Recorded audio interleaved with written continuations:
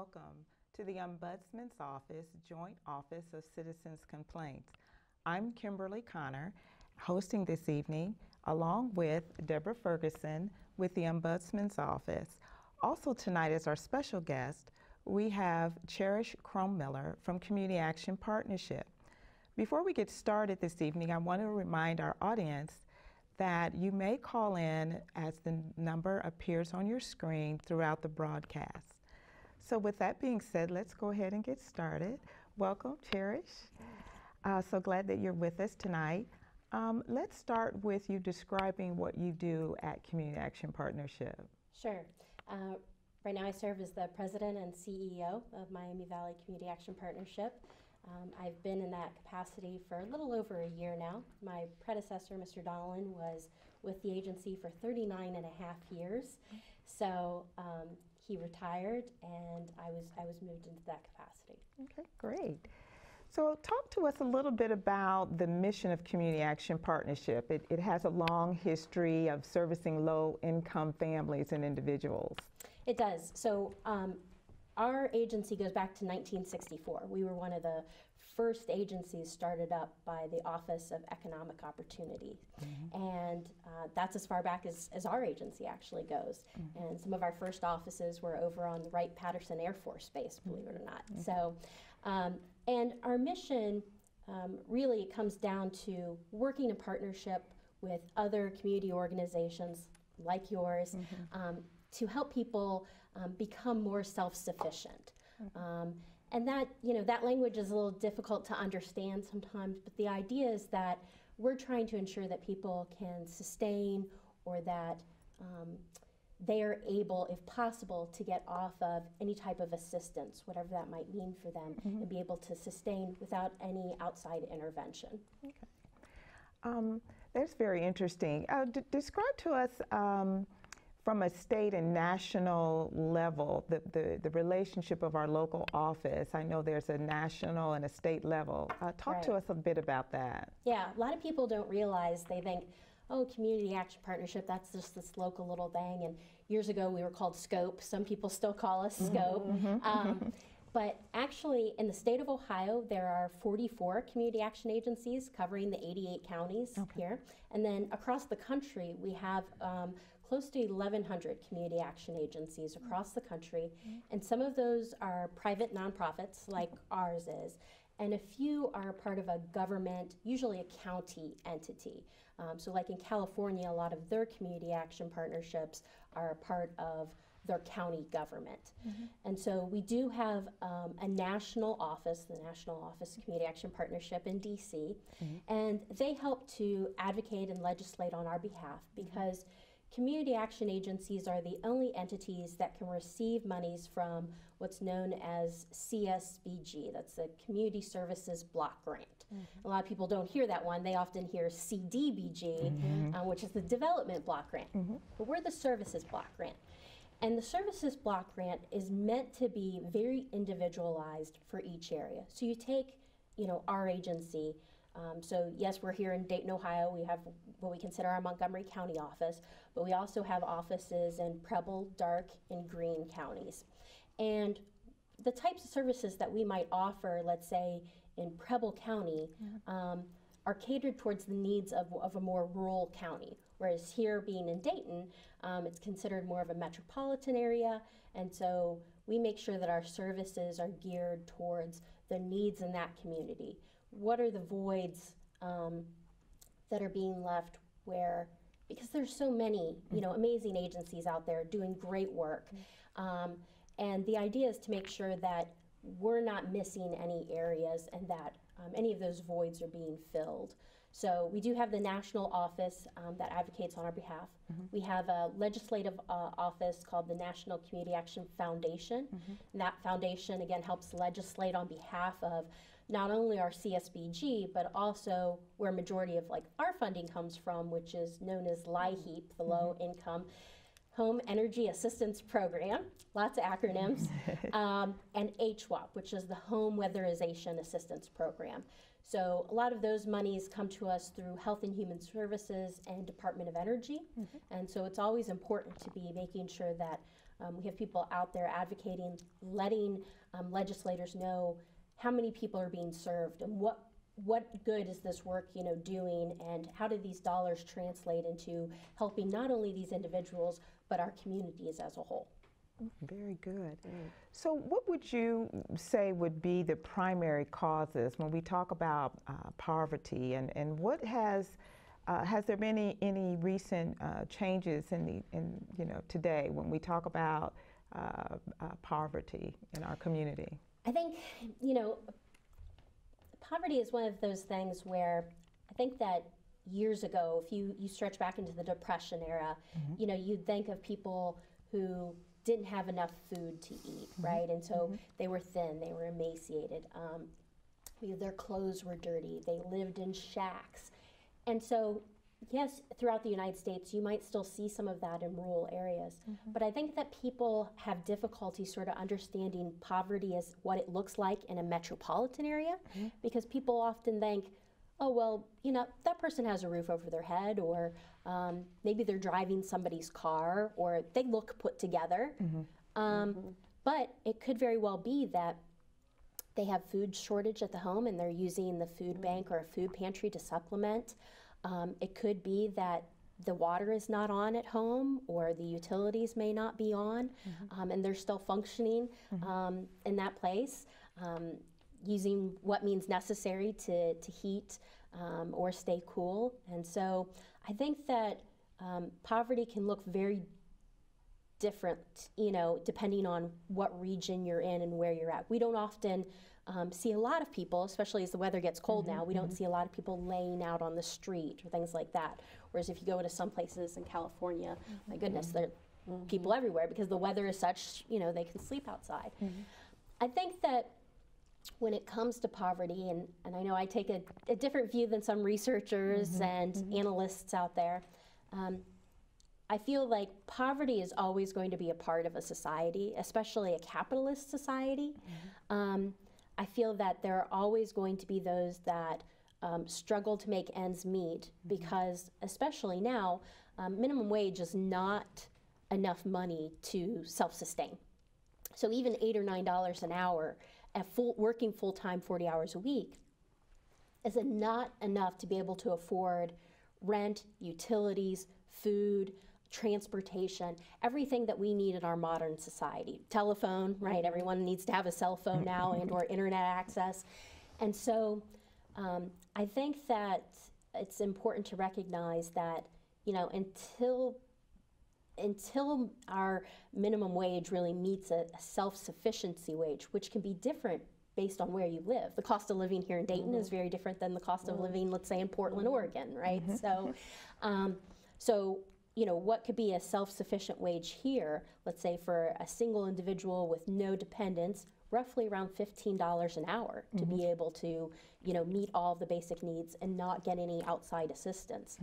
Um, and so I, I think that that's you know one of those things where people are always oh well we're going to solve homelessness we're going to solve this um, no I, I think that um, you know in a capitalist society you're always going to have people that fall below that threshold. And I and I feel strongly that as a society in the United States of America you know one of the wealthiest nations you know in the world in 2018 that people shouldn't live below a certain standard. You know we shouldn't let people go without running water at this day and age, or we shouldn't let people go without electricity or gas. Um, you know, and so just determining sort of as a society, what is the baseline that we're minimally going to ensure that people can get, you know, Medicare, Medicaid, a certain amount of health insurance, right? We're not going to let that fall by the wayside. Social Security, that we're not going to let, you know, those who are disabled or um, elderly and unable to work not have any form of income coming in. So um, it's a long answer to a question about poverty, No, but no, no, there's so that- much packed in it. you That's know? fine, that's Yeah. fine. I just, just to kind of capitalize a little bit more, when we talk about the federal poverty level, you know, according to federal poverty levels, how many people in Dayton and Montgomery County would you say uh, fall or are at below uh, the uh, federal poverty level as compared to other counties that you service um, in the state? Yeah, so some of our other counties, they can run as, as low as 9% if you look at uh, Darke and Preble and some recent figures on that. Um, Montgomery, um, depending on the demographic, we've got children that are running roughly at 23%. So um, children are right now the highest demographic of those in poverty um, in Montgomery County. Um, and then otherwise, you see the statistics running about 15%. But um, I, I always warn people about watching those those statistics when it comes to the federal mm-hmm, poverty mm-hmm, level. So, mm-hmm. the the federal poverty level was set decades ago by a very well-meaning person who was trying to come up with some amount, right? And really, what that amount was set on was what it would take a family of four to feed themselves. And the the poverty they've never re-examined it again to look at okay, well, now it's much more than what it just takes your family to feed itself. Um, it's not simply a, a matter of mm-hmm. that, it goes way beyond that. And so when we look at the federal poverty levels, um, those fall so far short of what you would actually need in order to function mm-hmm. in our mm-hmm. society without some other type of outside assistance or help from another organization. Mm-hmm. And so, um, you know, I always encourage people that they really need to talk with their legislators and mm-hmm. politicians about um, re-examining the federal poverty level because it's it's at such a low level at mm-hmm. this point that you know now a lot of our programs you know for so for our community services block grant programs a number of them you have to be at 125% of the poverty, le- poverty level. Some of our fuel funds, it's 175%. percent mm hmm And then for some of our weatherization programs, it's 200 to 300%. So it's starting to get a little silly when, mm-hmm. you know, you're going above these percentages. Mm-hmm. And so I think it's high time that as a society we, we look at that number again. Absolutely. And that must make quite a difference between different areas, like the cost of living in Dayton versus San Francisco or some of the larger cities. I'm wondering how they account for that when they're el- determining eligibility for programs. Yeah, I mean, I think that it's it's difficult, you know, for some of these national programs right. because you're trying to set a standard and and yeah, it's very difficult to go back to them and say, "Hey, listen, this standard might be workable for you know Ohio in a metropolitan area, but definitely is not workable for you know a Seattle mm-hmm. or someplace. And so, you know, allowing us to have that flexibility um, to meet the needs of the community more directly and look at statistically where people are at. Um, you know, sheltering in a place where it's below freezing temperatures, right? There's a lot mm. different shelter issues, housing issues compared to places where it's, you know, pretty cool temperatures throughout. Mm. Of course, you get into some of the desert areas and you've got serious situations with respect to heat, you mm-hmm. know, um, especially with elderly. So um, that's what's important about CSBG is it does give us that flexibility to try to um, mold each of our programs to fit, you know, our communities. Mm-hmm. But um, when you say 125% of the poverty level across the country, Mm. That is, it's a very different thing. Mm-hmm. I, I, was listening to you talk about there's so many needs. What is there? Is there one specific uh, largest need that you uh, find locally that you're you're encountering, or the biggest roadblock when we talk about poverty? No, I, you know, it it's different across the board. I can easily say that if we didn't have utility assistance okay. to be able to help with electric, gas, and, and then in our rural areas, bulk fuel. They do propane, oil, mm-hmm. things like that. We would have some serious trouble. Um, we would have quite a number of people that, that really would be suffering. Mm-hmm. So I think that, you know, based on the sheer number, you know, the volume of customers we see, most of them are served in the utility assistance program. So it very much is a critical program. But when you stop and think about it, um, just because we're helping somebody, you know, um, either pay their utilities at an amount that's more comparable to what they earn or is at an amount that they can afford based on what's coming into the household, for a number of those households, income is not going to change. Mm. So that utility assistance mm-hmm. is always going to be needed, mm-hmm. and it may not be possible to move that person beyond the help of needing utility assistance um, mm-hmm. um, because either because of disability, age, other circumstances of who they're a caregiver for. Um, we, may, we may not be able to move them beyond that. And so when you think about, oh, you know, how are we moving people on to self sufficiency? Sometimes we are just through like utility assistance, we're just helping people maintain, you know, and, and sometimes that in and of itself, you know, is a positive. Um, so I think it, it really depends on what you're looking at. Are you helping people maintain? And of course, our weatherization program goes hand in hand with utility assistance. So if somebody's receiving utility assistance, whether they're a homeowner or a renter, we refer them to weatherization. The idea then is that weatherization comes in and helps weatherize the home to improve energy efficiency and hopefully lower those utility costs, right? So that whatever we are supplementing, that's being decreased. So when you talk about some other programs, um, you know, I myself am an attorney, so I always talk about legal issues. It's one of those things I never shut up about. Um, you know, I feel strongly that we have a number of people in our society that are really held back by their criminal record. Um, and we see a lot of people in this metropolitan area who are um, unable to drive because they're, um, they have a suspended driver's license. Um, so, you know, you deal with something like that. Now, there's a situation where the hope is hey, if we can get um, somebody their driver's license back, then can we get them employed and get them to a point where, yes, they are bringing more income into the home and able to slowly maybe come off some type of assistance. So, Wanted to just shift a little bit and, and uh, wanted to get your reaction to oftentimes we hear people say we've lost the war on poverty or we'll always have the poor with us. I, I'm just interested in your reaction to statements of, of that nature.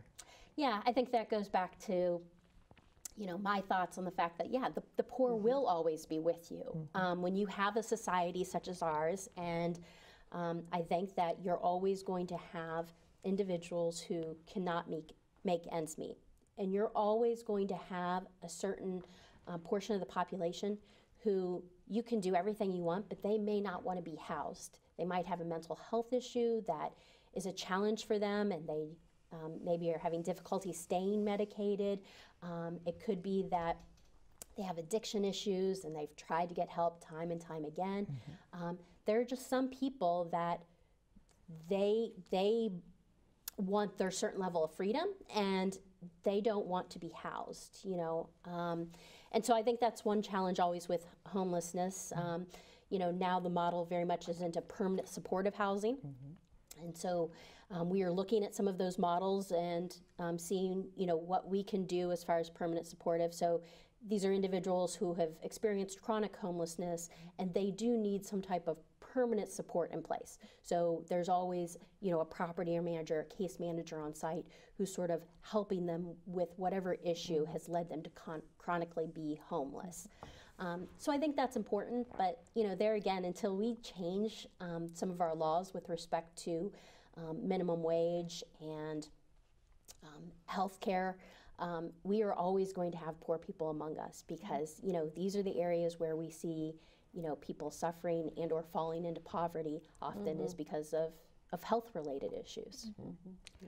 I, I, I'm curious to, to know that when we started off with the program, I introduced um, you as the Community, um, Community Action Partnership, but, and you mentioned about um, it was first Scope and then it went to Community Action Partnership, and it- you have a new name. It's the Miami Valley Community Action Partnership. Tell us about uh, what brought about the name change.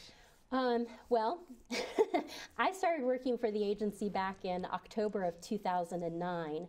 Um, and after doing, I was handling some legal work as it pertained to the, what was known as the Stimulus Act. And then after a couple years, I became the Director of Resource Development. And I was very frustrated because Community Action Partnership of the greater Dayton area did not fit into any boxes of any grants anywhere. It was very long to say, it was long to spell out. And you know, in some of our rural areas, at, you know, parts of Darke and Preble County, a lot of those people didn't feel like they were part of the greater Dayton area. Um, they felt more part of Miami Valley. To them was was a more suitable name. They could say that, yeah, I think we're still a part of the Miami Valley. Um, and I think you know, with some of our newscasts and things like that, you'll see where sort of this whole south, you know, west region of Ohio sometimes gets encapsulated into Miami Valley. So. Um, So it's a lot easier to put into grants, and uh, and it's a lot easier to abbreviate as MVCAP. And Yeah. so, um, you know, but we're still doing all the same good work. Um, and yeah, Okay, great. Well, with that being said, talk to us a bit about um, the Board of Trustees. How, how are they structured or how are they selected or and or elected? Yeah. So that's what's very unique about community action agencies is they have this what they call a very fancy tripartite board. And really it just means it's broken into thirds. So a third of our board has to be like elected government officials. So either an elected government official or an appointee, a representative by an elected government official. And then a third of our board can be from the private sector. So, you know, usually you want people from industry and private business, bankers, things like that, um, um, who are really connected into the community. And then a third are low income individuals. And these individuals need to be democratically elected um, to be appointed to the board. And so, for example, in Preble County, uh, we had our Metropolitan Housing uh, Authority um, get together in one of our metropolitan housing units and actually elected um, an individual there to sit on our board.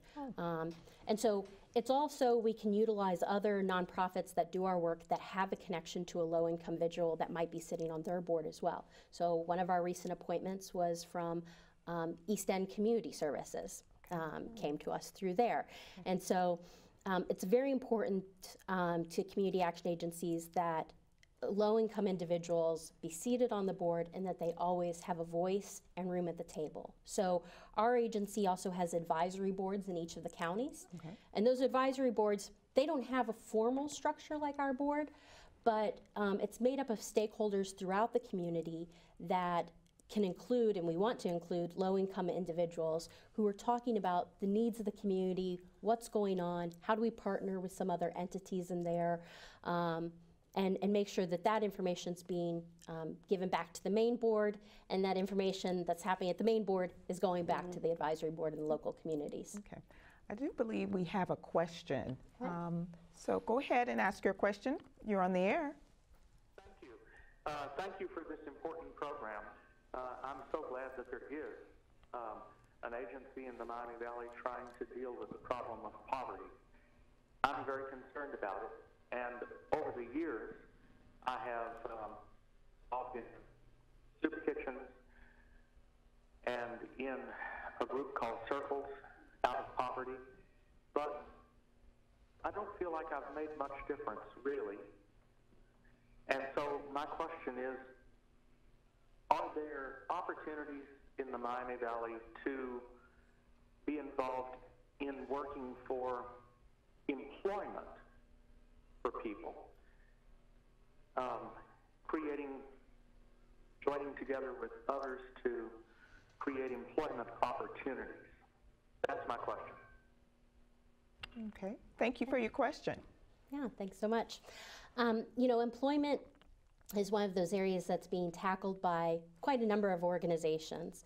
Um, where our organization focuses right now is we help people get transportation um, to and from work or job interviews. So we'll help with bus tokens or bus fares um, or fuel cards, especially if somebody just gets a job.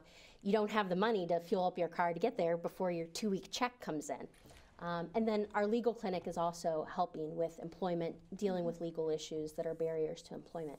You look at some of um, the other great, you know, um, partners in the area that are focused heavily on employment. Obviously, Job and Family Services is um, a government entity in our community, and that's really where um, a lot of you know their work is is devoted to. And so that's one organization that i definitely say you know if you've got some time and you can be a mentor to somebody um, that's a great opportunity there and Goodwill Easter Seals also has a lot of um, very strong employment programs as well. And i know they are always looking for volunteers and people that are willing to come in and work with individuals. Um, you know we're living in a different society now so computer skills is, is crucial and so helping people, we have a computer literacy class and it's a very fundamental class like how to turn on the computer, how to get, you know, an email address, how to send out a resume. Um, so it's it's very basic. Um, and that helps individuals, you know, that are right in the beginning of that. We're, we're looking to maybe do a 200 level class to go a little bit beyond that to help individuals. But, um, you know, I know Sinclair is doing some employment work as well. And, uh, you know, they're, there's great opportunities out there, and, and sometimes it is just that one on one assistance. So, if you look at an organization like House of Bread, if you go and volunteer there or just spend some time with people that are there for lunch and mm-hmm. ask them individually, you know, hey, wh- what are you trying to work on or where are you trying to get to? And sometimes people just need a ride to places or they need a ride to clothes that work to maybe get an outfit for a job interview. Um, so there's a number of different opportunities out there, and I think that people can find um, the right fit for them um, if they want to assist. Wonderful, wonderful. Lots of things going on. I wanted to just um, go back to the mission and, and the goals and things that you want to achieve or have achieved in your mission. When we talk about um, um, partners and community partners, um, can you talk to us or give us an example of maybe a, a, a current collaborative that um, you're engaged with that that's actively benefiting uh, members in our community? Well, one of our most recent ones is um, it's actually sort of through Montgomery County, through the United Way, um, and and some of their collaborative efforts that um, they're doing. Um, we are able to get referrals from the Wesley Center to our legal clinic. Um, so people that are working with some of the individuals at the Wesley Center, well connected, and so the Wesley provides those referrals over to us for the legal clinic because our legal clinic gets so many phone calls. I mean, so there's been at least twice now where we've had to essentially like close close the rolls and say, you know, we're not accepting any other cases at this time because there is such a great need out there. Um, the benefit of working with a partner like Wesley is that they can provide some supplemental case management to some of these individuals where you know we're just focused sort of on the legal aspect. They can focus on some of the other aspects of that individual's life. And so um, you know that's one of the great partnerships that we have going right now that i think's wonderful. And um, our microenterprise program. So, you know, unfortunately, uh, Wright State had to close its small business um, program, um, and so our agency um, picked that up. So, Ascend, um, which is help funded by Fifth Thirds through their Community Reinvestment Act. Um, so, we are running that program not only here in Montgomery County, but we have a office in Greene County where people can go and get one-on-one support as to how their business is doing and get one-on-one counseling um, to help you know their business sort of thrive and get over um, you know any issues that they're having keeping their business from thriving so Great. Well, with all of your, your missions and, and goals that you have, advocacy is, I'm sure, a large part of that and services. So I'm going to turn my portion over to Deb and let her ask you questions about advocacy and services that the Miami Valley Community Action Right. Partnership provides. Okay, well, thank you, Kimberly. Um, because, yeah, we're going to dig a little bit deeper now. Uh, you mentioned a lot of your programs, and I think the audience uh, would like to know a little bit more about how to apply for some things. And so we're going to dig a little bit deeper, but I want to go back to what you, a couple things you've already mentioned is about advocacy and how critical it is, and there's a lot of social change going on in our community. But tell me uh, how communi- how Miami Valley Community Action Partnership. What are the different kinds of ways that you advocate for low-income people? I think that you know it's it's been difficult um, when it comes to advocacy. I think early on th- that community action agencies did a great job of really being these like poverty warriors, and then politics and legislation being what it is, it really takes bipartisan support to approve and have a number of our grants and monies that are necessary to run our programs. And I think that for a long time, people were very scared about, you know, I need to watch what I say and do when I advocate on behalf of people because I don't want to upset one side or the other and, and lose the votes for funding of one of our programs. And, and I think that's sometimes the difficulty with some of these organizations like ourselves that are um, rely heavily on government funding is that um, finding a way to be a voice for the low income individuals in our community and still recognizing that that shouldn't matter whatever um, you know, whether you're a red or a blue, Democrat, Republican, whatever. Absolutely. That, you know, everyone should care at some level about, you know, how we're treating uh, those among us that are that are suffering. So um, some of the things that we're doing is is making sure that some more of our staff is sitting on more of community boards. Okay. Um, so I myself am now on the HRC board, and I sit on the board for the responsible banking. Okay. Um, and we're taking that on as well great. at the agency. Is um, we're going to be head, sort of helping head up um, the Dayton Community Reinvestment Coalition and making sure that we're charging forward and really recognizing what monies are going into our community. Um, so, sitting on more of our boards, as we look at our strategic plan, we are going to be doing at least um, a town hall forum in each one of our counties uh, at least once a year. So, at least once a year, we're going to give people the opportunity to come talk to us about what's going on. What are we missing? What would you like to be heard? Um, and then um, some of that on myself is going out there and talking to politicians, talking to the stakeholders, and saying these are some real issues, especially when it comes to some of these legal, um, you know, uh, hurdles that our customers are facing, and how those can be dealt with. Um, because I mean, you're talking about that's that's something that's a societally ingrained. You know, it's been a long-running history of, of of some of our difficulties, and so um, focusing on that, um, making sure that our advisory boards are getting out into some of these other community organizations and also talking with them. So at least asking one advisory member to go to some other meeting um, or organization to um, take time and bring back to us, you know, what's being said and what's well, what's going on there. So we're about to delve into a new needs assessment, and so the needs assessment is really to explore just what it says. What are the needs in each of our areas? So that will be done um, with a bunch of sort of surveys, these town hall forums, um, and you know, bringing together community stakeholders and talking to them about you know what are they looking forward to doing, um, so that we're not duplicating efforts. You know, um, we don't want to do that. We want to work in partnership with each other, and so um, that's crucial as well. We we don't want to be fighting for some of the same pots of money. How Yes. can we best serve the customer um, and make sure that we're still meeting this need? And, and that's the important part. So, Well, because, yeah, I mean, I'm realizing now after listening to you that community action is so much more than just helping individual people and all the things that go into making that happen. Um, so that, that takes us to a, a- an issue and, and is about funding because it is. There's so many needs in our community.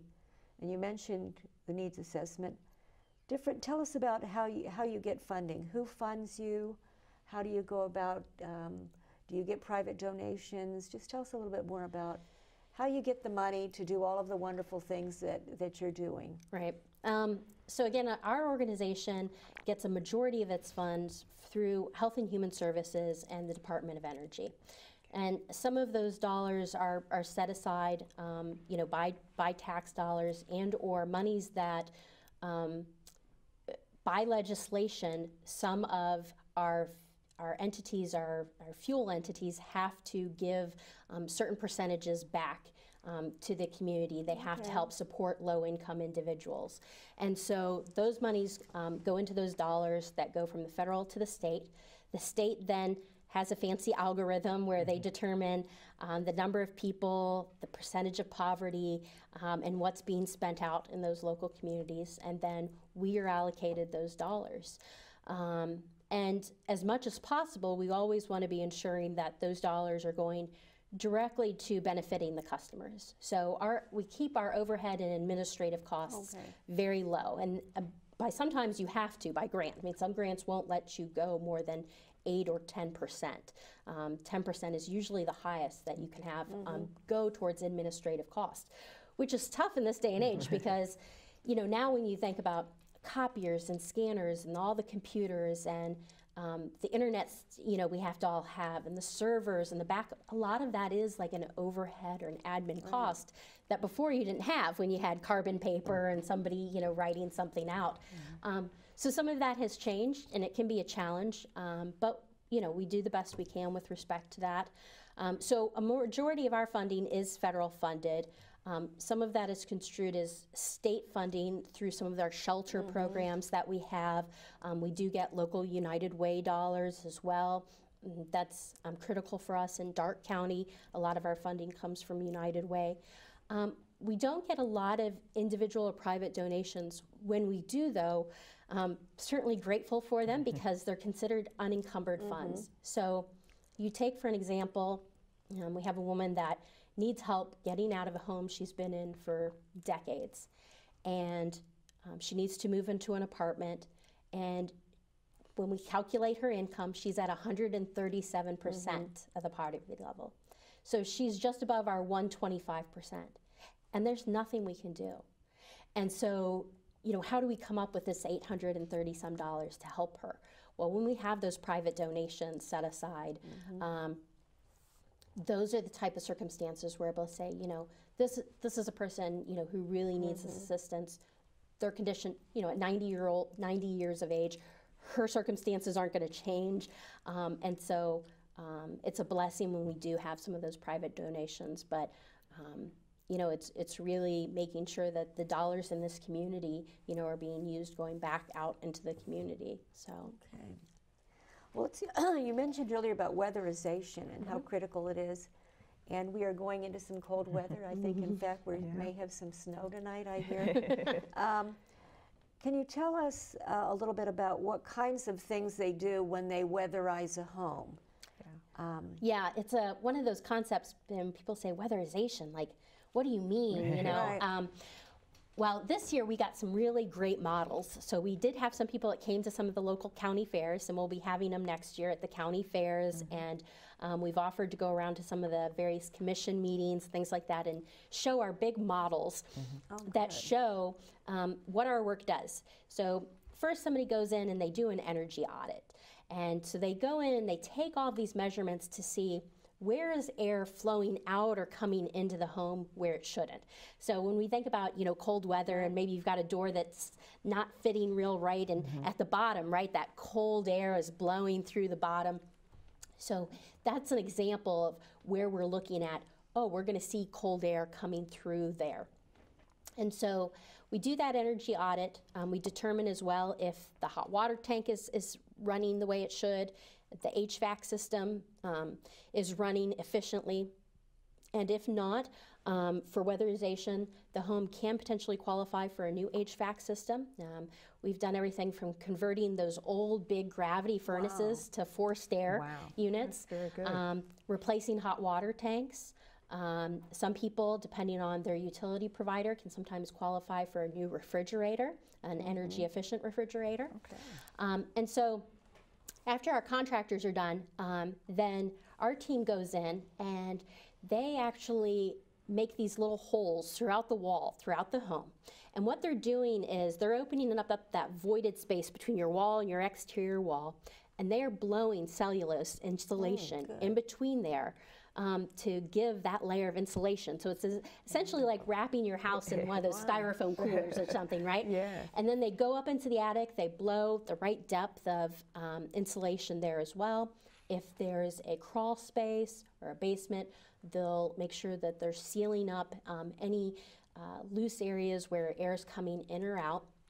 And what we also do now is install fans. So uh, weatherization has evolved over time, and once okay. upon a time they would tighten up the house so much that the house wasn't breathing. Well, now they install what's known as ASHRAE fans, so they're bringing in um, good air from the outside and circulating that throughout the home to improve the air quality throughout the home. Wonderful. And so, and then at the end, an inspector comes back and does all those tests again because we have to show um, in our paperwork that we made the home more energy efficient. So they're testing all of that in mm-hmm. the beginning and at the end to show the difference in the energy efficiency overall of the home. And so that's mm-hmm. a yeah, a little bit about what we do in weatherization. that must be really exciting for a homeowner whose bill, their Vectren heating bill, Yes.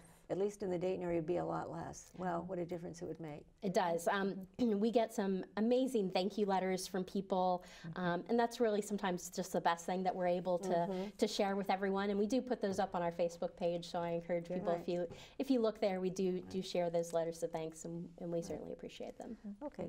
You said also that people that come in for utility assistance then are referred to weatherization through that network. But how would someone apply for weatherization if that's what they were just interested in? Yeah, so if you're not getting your utility assistance, if you go to our, our website at miamivalleycap.org, uh, you will be able to see the 800 number. You'll call an 800 number or our main number and go through the prompts to weatherization. They'll get your information uh, and they will mail you an application. If you're struggling in any way with the application, we ask you to call back and talk with that intake specialist, and that person will help walk you through the application process. Um, and so that application comes in, and we process it to see um, if you're income eligible for one of our programs, um, also based on what y- your utility providers are in your community too, can have an impact. Okay, good. You also said earlier that the utility assistance is your, I would say, largest volume program. So here we are at the point, uh, we know a lot of people that are able to take advantage of us. Tell us that I think there's three different ways you can help with utilities, winter, summer, and PIP. Can Right. you- Can you tell us about that? Yeah, so we have a home energy assistance program. Um, overall, people can get assistance, but during crisis periods, so we have um, winter crisis, which is happening now from November 1st to March 31st, um, helping people with, um, especially when they have um, overages or large amounts back due, the amount that we're able to pay back towards that. We also currently have some fuel funds available that we can help supplement with that. Um, for individuals that, um, so to get one of our crisis programs, you have to have a disconnect notice. Okay. Um, that's the important thing to know for, for those programs. What we really encourage is for people to stay on the PIP program. It's now known as PIP Plus, the Percentage of Income Payment Program Plus. Mm-hmm. and you want to be paying your amount on time every month. So we often tell people, you know, if you're using a bank account and you can get that amount, you know, deducted monthly at the same time every month, that's a great thing to do because when you recertify, that that date is one particular date. Mm-hmm. But you also would have what's known as your anniversary date. And, and that's when you actually came on to receiving those utilities. And those are two different dates. And even if you just recertified, let's say you haven't paid on time and regularly and your anniversary date hits, you're going to be kicked off of that program. And then you're sort of back to square one. So you want to stay on the PIP program regularly and be making your payments um, consistently. If your income has changed, we encourage you to make an appointment, come back to the office, and let us recalculate your income to change your payment amount. Now, we've changed uh, the way that you can get in to make an appointment. Okay. Um, one, we've made some increases in the number of appointments we're taking. We also have some evening hours available for individuals that are working. Good. And we also have a program where you can go online to make an appointment. So if you go to our website at miamivalleycap.org, you go to utility assistance, there's a link there to the online scheduler, and it'll show you what days are available. And then we also have a program that if you call in in the evenings, there are open appointments in the morning. So what we're getting away from is people standing in line to come to the agency. Um, it, we want it to be just like you're going to the dentist. If your appointment's 10 o'clock, we want you to come at 10. Don't think that if you come at 8, you're going to get in Right, sooner. It's your appointment time is your appointment That's time. good to know. So please don't think, you know, oh, well, I'm going to rush and get in there, you know, right at 8 o'clock and I'll get seen sooner. Mm-hmm. No, we're trying to make sure that your appointment time is consistent across the board for all of our customers coming in. And then that way people aren't, you know, um, spending more of their time waiting than they need to, you know, in our That's office. So, excellent. yeah.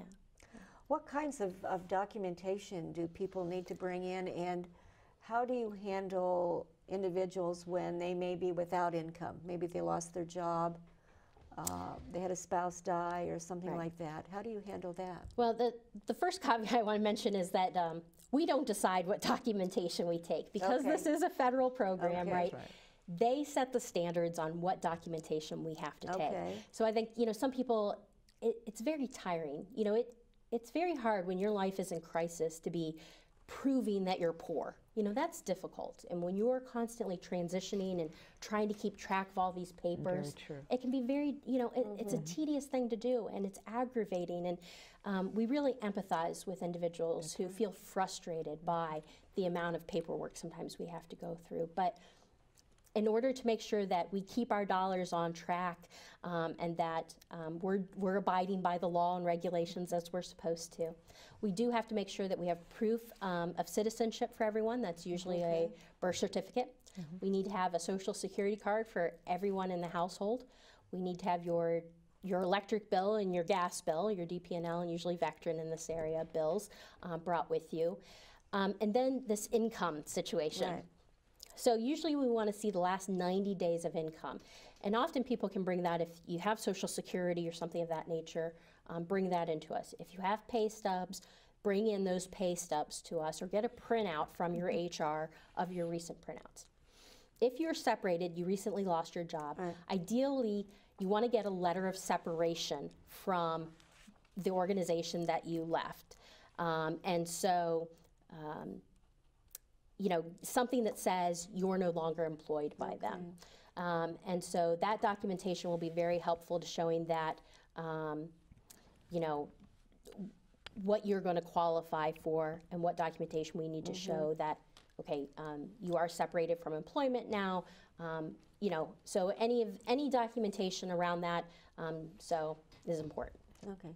Is there, is there anywhere where a person that's applied can, is it on your website? Can they go on your website and, and look up kind of what they need to bring in so they're Yes. better prepared? So we have a check sheet, uh, even a check sheet you can print out on our website Okay. under that utility assistance. We've tried to make that very easy. Um, we also have drop off available at our office um, Tuesdays and Thursdays um, from 9 to noon. People can come in. If you're just recertifying and your income hasn't changed, nothing's changed, you can come and just drop that stuff off. Our person sitting there will look through your documents, make sure everything looks good, and then we will get back to you so that you don't have to sit in the office and, and watch us sort of go through all of this paperwork. The state has changed um, the way that they're doing stuff, and the state is no longer accepting applications at the state level. So those will all be processed now at the local level. Okay, so I mean, that would be the, the subsidy. The HEAP subsidy is now processed at the local? Yes, yeah. Okay, So local anyone that office. was recertifying by, if you send it into the state, they'll scan it in, but it's going to be processed at our office. So I just wanted to pause for a second. I think we do have another call, and we okay. just have a few moments left. Um, Go ahead with your call, please. Uh, yes, thank you for taking my call. A very interesting program. I just wanted to ask if, for the next upcoming couple of years, if you had a uh, short wish list, if you of, of what you might be able to do, if you could have take a second to share that with us. I think A yeah, wish list, wish uh, programming, things you'd like to, to do if you had funding? Yeah, I mean, uh, you know, I, it's it's sort of um, trite to say, but you know, honestly, when people do those little fundraisers on Facebook where somebody just gives three or five dollars, Mm-hmm. you know, to our organization, that really does add up. So instead of buying somebody a birthday card, you donate three dollars to our agency. Mm-hmm. Those help us in those circumstances where somebody is just over the income limit, and and we know we've worked with this person and we believe they're deserving of help. Mm-hmm. You know, a lot of our other nonprofits do some great collection drives, and we work hand in hand mm-hmm. um, with them. Um, you know, our shelters in our rural communities, people do a great job of donating to our shelters to help people when they're leaving our shelters and going out. Um, so, um, you know, sort of connecting with those, you know, in Darke Greene um, and Preble counties, um, that's definitely helpful as well. But um, you know, uh, to me, I'd love to be able to help those people that are falling more in that 125 to 200 percent level, um, because those are still individuals who they're they're in what we call that benefits cliff. So they don't make enough to self-sustain, Right. but they make too much to qualify for any benefits. Correct, And um, and that's that's terribly difficult when you see that, and you want to be able to help people get out of that crisis situation. Well, just, we've just got a few more minutes left, I- and I, I understand that your organization does provide housing counseling, is that correct? We Can you do. tell us about that? Because I know we had a lot of foreclosures in the Dayton area recently, and I know that may be part of what you do. Can you just tell, uh, tell us something about that so we can make sure that all our viewers can get a good idea about that? Sure. Yeah. Um, if you you know call to the agency or look on our website, you'll follow the prompts to housing counseling. A number of mortgage products now insist that you have what's known as pre-purchase counseling um, before they're going to qualify you for a mortgage, and our agency offers that um, either face-to-face or over the telephone.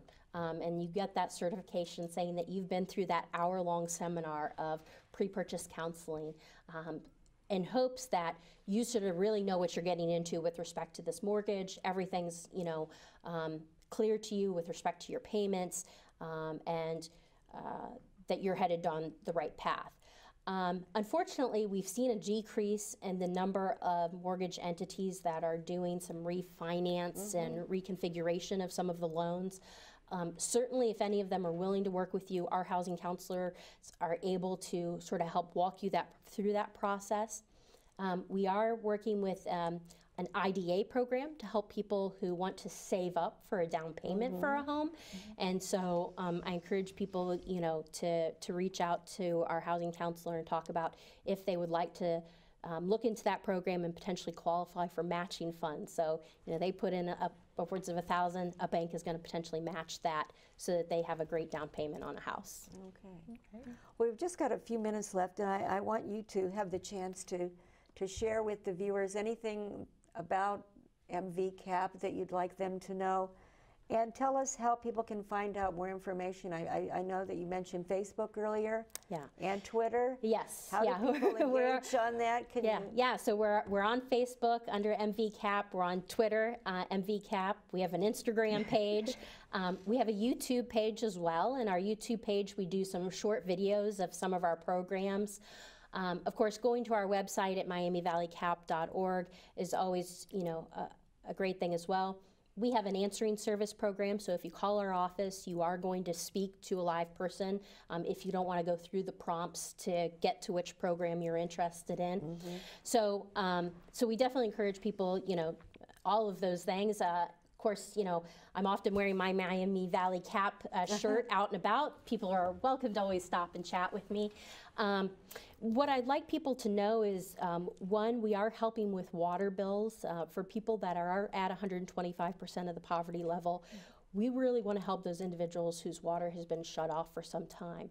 And if you're also at that poverty level and you have a repair issue, we do have a home repair program Okay, um, that we're, we're utilizing for that. We also have dollars available in Miami County and the city of Kettering who have helped us with dollars for home repair as well. The other great program we're running right now is called Getting Ahead in a Just Getting By World. And uh, that program is a 12 week course where you sort of sit down and examine, you know, this is where my life is right now. Is this where I want it to go? What am I interested in changing about my life? What do I want different for my kids, my grandkids? And how can I set about doing that? Um, we have um, some great people running that program, and so I encourage people um, to consider, um, you know, taking the time to sort of do that introspective as to, you know, what is keeping me in this cycle of not being able to make ends meet, and how can I potentially change that? So, um, and then I think, you know, our legal clinic program and helping people with the license suspensions has been amazing. We've helped over 200 people get their licenses back. Wow, okay. So we not only help with their court fees and fines, but we help with their um, costs and we help them with one month of insurance as well. So, So if you got a main, main number you can tell everybody who may not be connected to the internet, what's Yes. the main number they should call? 341 5000 is our main number. So again, that's 937 341 5000. Um, you can follow the prompts if you're interested in one of those programs um, or speak with an operator um, and they can direct you to the right person as And well. how about where you're located? Yeah, so here in Dayton, we're at 719 South Main Street. Um, we're right sort of tucked behind Carol Wirtz Goodyear Tire and sort of stationed in between um, Goodwill and Daybreak. So right as that T comes down, we're right there in the middle. Okay. Great. All right. Well, this has been wonderful. Yes, it I've learned so much about community action, and, and uh, Want to thank uh, everybody for tuning in, and uh, feel free to contact Community Action Partnership at that 341 5000 number, right? And uh, sign up for Facebook because I think Facebook and different Mm-hmm. social media has been the way that a, a lot of you, a lot of people, especially our younger, Yes. our younger uh, audience. If we, we see something going on, we post updates there so we get the information out as fast as we can of stuff going on. Right. So take advantage. Take advantage. Share what you've learned tonight with uh, family, friends, and others in the community that um, might benefit from what they do. They do so many wonderful things and uh, are working for you and your community every day here in the Miami Valley. And thank you again for tuning in. Thank you. Good night. Thank you. Good night. Thank you.